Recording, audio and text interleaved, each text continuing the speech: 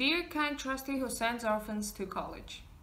Here I am, I traveled yesterday for four hours in a train. It's a funny sensation, isn't it? I never rode in one before. College is the biggest, most bewildering place. I get lost whenever I leave my room.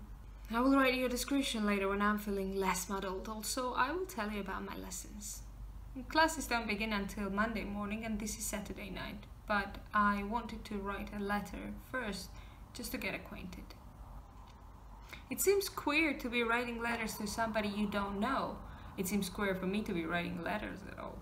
I've never written more than three or four in my life, so please overlook it if these are not a model kind. Before leaving yesterday morning, Mrs. Lippett and I had a very serious talk. She told me how to behave all the rest of my life and especially how to behave toward the kind gentleman who is doing so much for me. I must take care to be very respectful. But how can one be very respectful to a person who wishes to be called John Smith?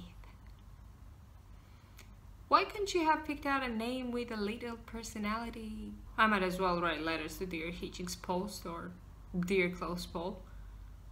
I have been thinking about it a great deal this summer. Having somebody take an interest in me after all these years makes me feel as though I had found a sort of family it seems as though I belong to somebody now and it's a very comfortable sensation. I must say, however, that when I think about it, my imagination has very little to work upon.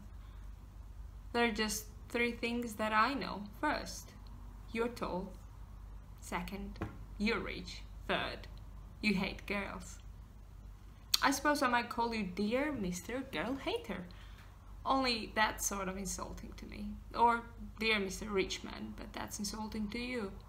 As though money were the only important thing about you. Besides, being rich is such a very external quality. Maybe you won't stay rich all your life. Lots of very clever men get smashed up in Wall Street.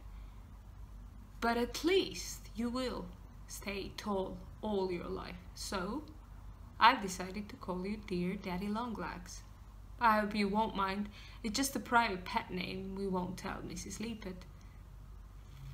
The 10 o'clock bell is going to ring in two minutes.